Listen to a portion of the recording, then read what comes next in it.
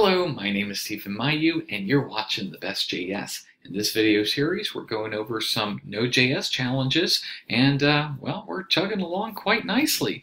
Uh, right now, we're on the, uh, I believe, the eighth challenge, so uh, more than halfway done, but we still got some work we got to do.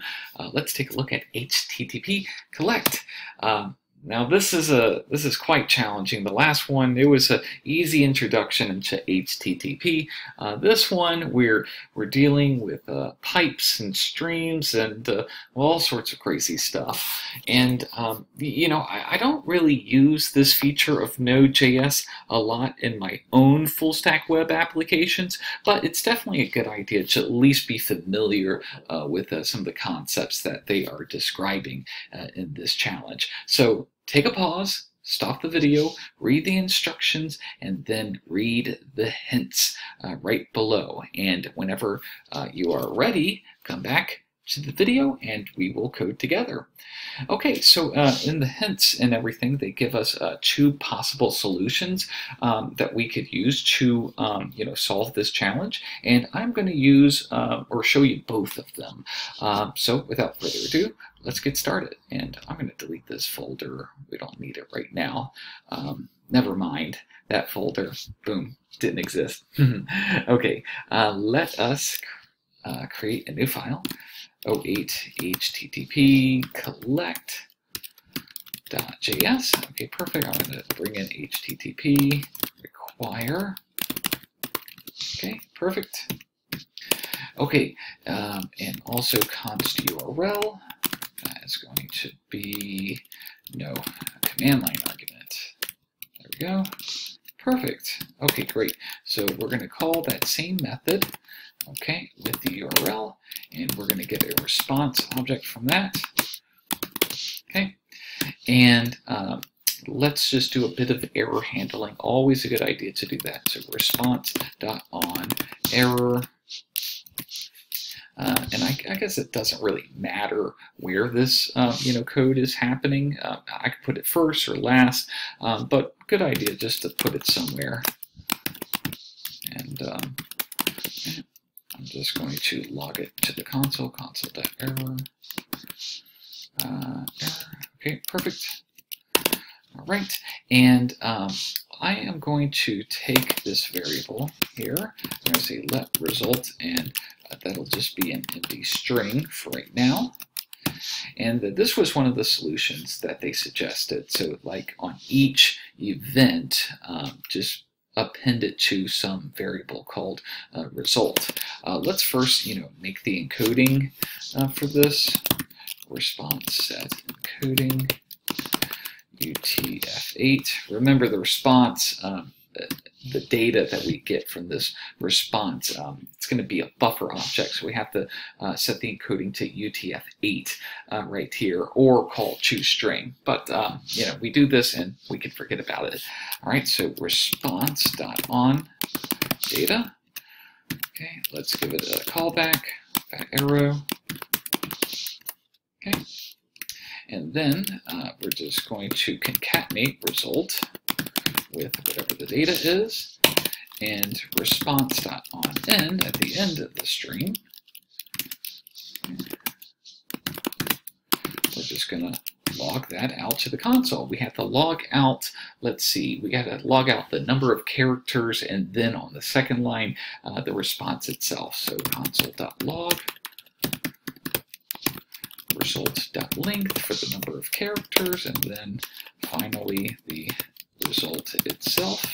Okay, I'm going to come here and let's uh, go to learn, use node, verify, and we are 08 HTTP collect. Let's run that code and hopefully, all right, everything looks good here. So um, um, that's all great and stuff. We are using just the uh, natural events that come from the response object. Um, I'm going to save this code. I'm just going to comment it out, and we are going to do something, um, you know, something you know different, a little bit, a little bit the same, uh, but we're going to um, uh, actually install an NPM module called BL, and this is going to help us uh, deal with a stream object. Um, when you get streams, you can use them um, and like pipe them to like other functions or to um, you know pretty much anything that you want to. So it, it's basically taking a stream and instead of like receiving it in like these chunks like we do right here on response.on, uh, well we can pipe it to sort of like you know uh, I'm not sure the best way to describe it, but it's it's how we can take a stream and continuously send it uh, to like a function instead of like blobs at a time. All right, so I'm going to take all of this code, just comment it out very quickly, and I'll just put that below us. All right, we'll we'll come to that later. And first thing I want to do is uh, go to my terminal. Okay, Control K to clear that out, and I'm going to npm install a module from npm called BL and it might give you an error. It might say something like you don't have a, a package.json, but that's totally fine. Don't worry about that. So what did we do? What just happened? Well, if we go here, um, if we go to npmjs, I believe, .com, I hope that works. Yes. Um, so basically, there's a lot of like useful third-party you know software, open source software that's you know written and created by other uh, developers, and uh, you can install it um, from npm. It's available to you you know for free here it is. And there's tons of great stuff on here. You're going to use NPM a lot for your full stack applications. So anyway, we just installed BL, which will help us uh, write our um, you know code a little bit more cleaner, and uh, we don't have to worry about like these uh, different events emitting to you know um, to you know, print our result. Um, so let's just you know see in action. So we're going to const BL require So any native like node modules and any modules that we download from npm, we just pass the name of the module as a string to require, but any modules that we write ourselves that we didn't get from npm, well, uh, we have to you know, put in the relative path uh, here.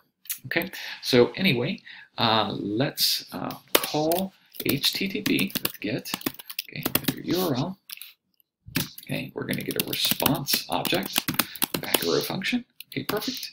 And then uh, response, now response is a stream and we want to take that entire response stream and like pipe it, just like direct its flow to the BL function. So we're going to use pipe and BL and that is going to take a callback. And this is going to look a little weird, but I'm going to put a fat arrow function in here. So error and data, go one out, do a fat arrow. All right, so that looks super funky, but, but trust me, all is well. And then if error, always handle your errors, return console dot error or console dot log error. All right, otherwise, we are going to log well, let's uh, actually make it into a string because this right here is a buffer object. So data choose string. Okay, and then we have to log to the console data length and the data itself. Right, so if we save that, go back to the terminal. Uh, let's try learnyounode verify 08 one more time, and hopefully that should work. And okay, it does. All right, great guys. So so again, uh, the response from HTTP GET. That is a stream object. We use pipe, which is you know natively available in Node, and pipe takes stream objects and just makes them flow on to the next thing instead of then blobs, how they, you know, normally behave. Okay, so let's stop here. Um, in the next video, we're going to do some more cool stuff. Let's see what the next challenge is going to be. It is going to be juggling async. Ooh, sounds really fun. So uh, stop right here, take a break, and I will see you in the next video. Goodbye. Boop.